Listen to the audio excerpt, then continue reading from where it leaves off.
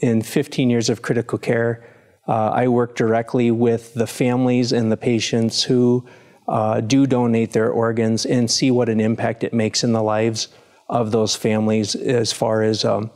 their grief and uh, just seeing the legacy of their loved one live on. I haven't yet met somebody who wasn't thankful that they chose to say yes to donation. They know that um, the biggest thing is that the legacy of their loved one is living on in somebody else,